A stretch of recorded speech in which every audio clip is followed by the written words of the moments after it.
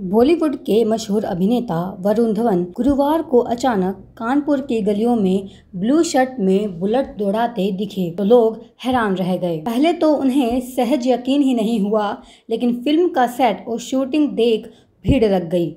दरअसल, वरुण धवन अपनी आने वाली फ़िल्म बवाल की शूटिंग करने कानपुर पहुँचे हैं। शूटिंग का कार्यक्रम इतनी जल्दी तय हुआ कि पहले से किसी को खबर ही नहीं हुई। शूटिंग स्थल पर वरुण ने बाइक से फर्राटा भरा और लेनिन पार्क तक बाइक से घूम कर आए।